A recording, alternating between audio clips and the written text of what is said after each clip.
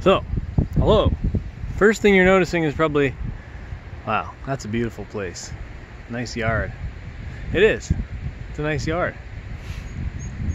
It's my friend's house. Needs a little help. We got some ash trees here. This is where I was doing that solar clearance the other day. There's the carport uh, that I was over top of. Um, so this guy right here is go, gotta go. It's a big ash tree. They don't um, treated repeatedly, which I offered, but you know, you gotta manage your own risk the way you see fit. Um, and I think they're gonna probably plant another tree there. Uh, there's also a lot of ash trees in this copse of trees.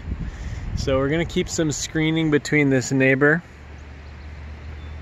um, we're gonna take out a bunch of the dead stuff in these woods, and we're gonna take out a bunch of ash, and we're gonna make firewood. Without further ado, uh, let's get to it.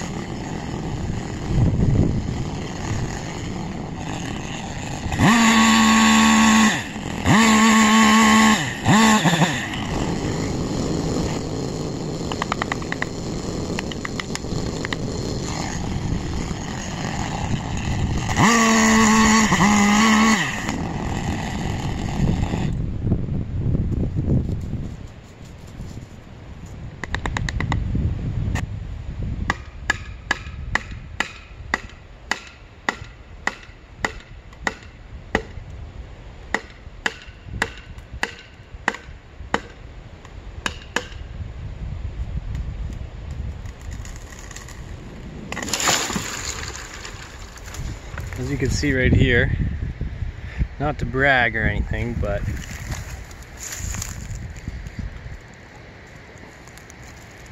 it helps to have a good eye to know when you can get away with tight shots. These lines there you know uh, there isn't really any device that measures the tree accurately enough. I don't think to be able to measure this out and figure this out. Actually, they do make a device that does that, but I don't have one. But look.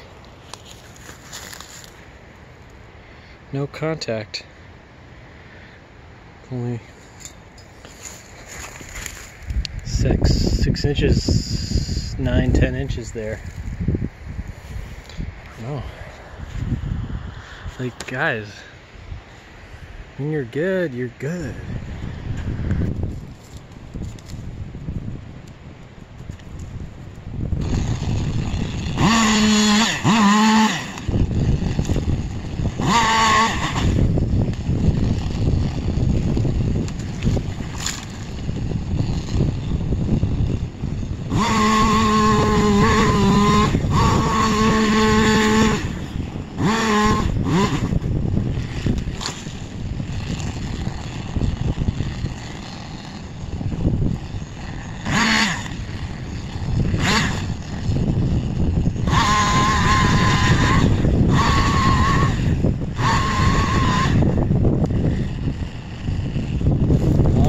those down.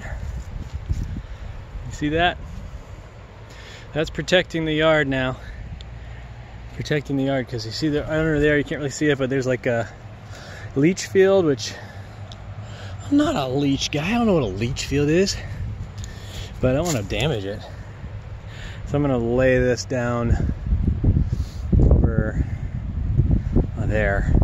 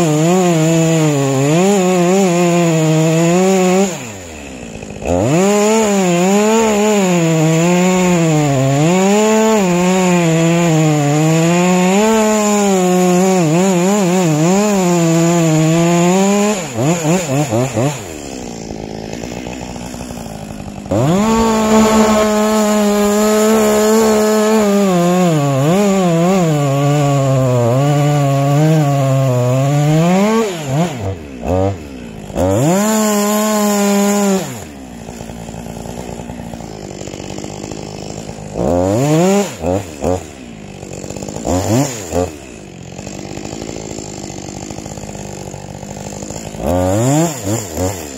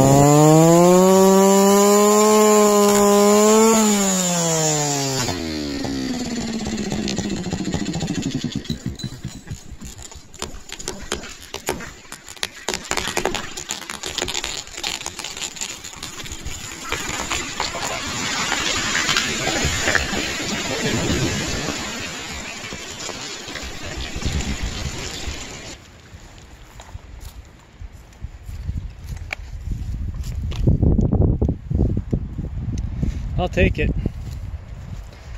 I'll definitely take it. Look how far that wound up from the stump it came from. That's what happens when you're felling a tree down a hill. They jump off. This one jumped off, landed right here, made an impact at the ground. Then when the tops hit, it rolled uh, weird and then wound up, you know, quite a bit to the left of the stump. Let's hop up on this thing. Gosh, I gotta say, it's a heartbreaker. It's a real heartbreaker. These emerald ash borers coming in. What can you do? Try and get some value out of these trees while they're still here and uh, enjoy them.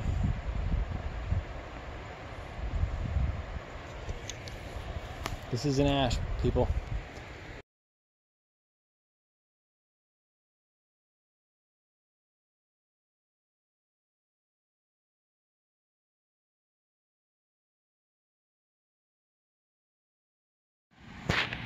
I'm not going to beat around the bush here. The chain fell off of this here saw. Let me show you something that happens sometimes to me. If you find the tooth that was the real, the real, the real culprit. The one that really got bashed up in the process of throwing, getting thrown off the chain. See this one? It's not going into the groove in the bar. So there's this one, and then um, this one feels it uh, doesn't really want to go. It will, but it doesn't doesn't go in there very well. So that's got to be corrected, and you can actually do it with a flat file like this. Um, you just have to take the burr off of the uh, tooth here. Alright? So that's what I'm to do.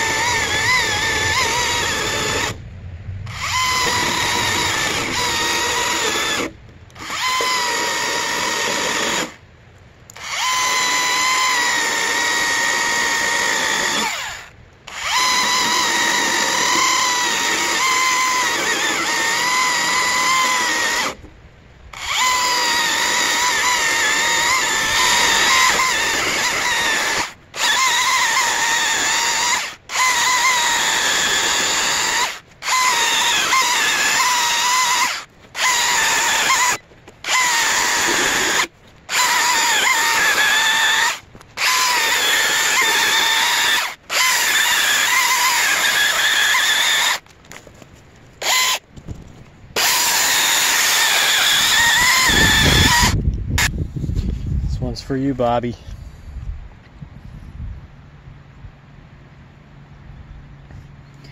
Bobby McCullough. Avid vegan.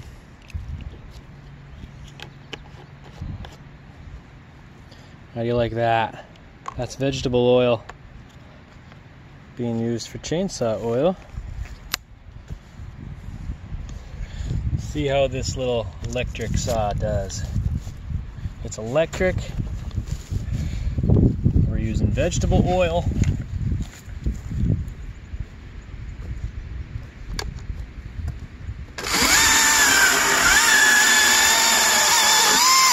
And we're making sustainable heat.